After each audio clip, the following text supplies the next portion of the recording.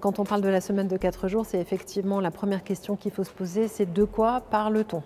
La semaine de 4 jours ou la semaine en 4 jours, c'est poser la question de savoir si quand on travaille 4 jours, c'est à volume horaire constant, 35 heures, 36 heures, 37 heures, 39 heures même parfois, ou si c'est une mesure de réduction du temps de travail, c'est-à-dire plutôt à 32 heures. Ce qu'on voit en France aujourd'hui, c'est plutôt une expérimentation ou des réflexions sur une semaine de 4 jours à volume horaire constant, donc une semaine de 4 jours euh, qui ne change pas sur le volume horaire, plutôt qu'une semaine de 4 jours, telle qu'on peut voir aussi quelques expérimentations euh, en Europe, mais aujourd'hui c'est plutôt la semaine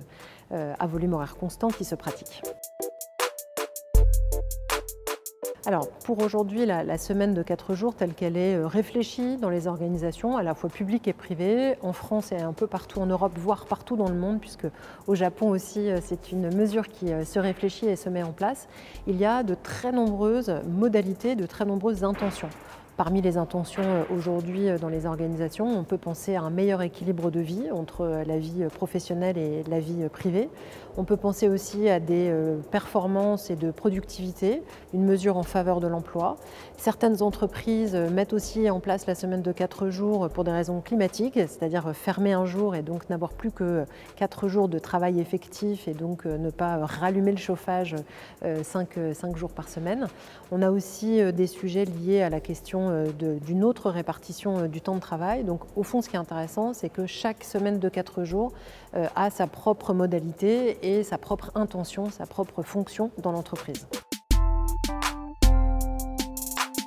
Alors aujourd'hui, sur ce qui se pratique en Europe, d'abord ce sont beaucoup d'expérimentations. Euh, certaines entreprises ou certaines administrations ont déjà mis en place euh, une nouvelle organisation du travail, à volume horaire constant ou avec réduction du temps de travail. Mais ce qui est intéressant, je trouve, c'est qu'aujourd'hui on est vraiment dans une phase d'expérimentation. Ce qui est intéressant, c'est de constater que dès que la semaine de 4 jours se fait à 32 heures, avec euh, le même salaire, au fond, évidemment, tous les indicateurs sont au vert et tout se passe très bien. Les chiffres d'affaires augmentent, les salariés éprouvent plus de bien-être, il y a moins de turnover, moins d'absentéisme, etc. Mais au fond, on pourrait dire c'est normal si, euh, avec le même salaire, on travaille moins, euh, de considérer qu'il y a une performance de l'entreprise et un confort des salariés. Quand on regarde pour le coup les entreprises ou les organisations publiques qui mettent en place une réflexion sur la semaine de 4 jours à volume horaire constant, on peut constater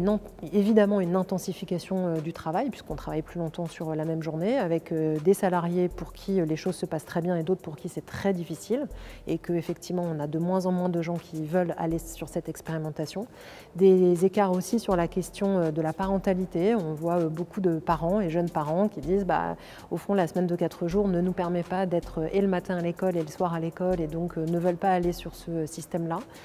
D'autres salariés qui considèrent que c'est une très bonne chose si le jour de repos peut être entre deux jours travaillés, considérant que là, euh, travailler deux jours, se reposer un jour, travailler deux jours, puis après avoir le week-end, est une modalité qui peut convenir. Au fond, dans tous les exemples, si je parle sans réduction du temps de travail, ce que je trouve intéressant, c'est de voir que c'est très lié aux individus, à leur choix, à leur vie, à ce dont ils ont envie, et moins lié à l'organisation. Donc je, je pense que cette semaine de quatre jours pose quel est aujourd'hui le commun au travail, comment on a envie de travailler ensemble dans une même organisation.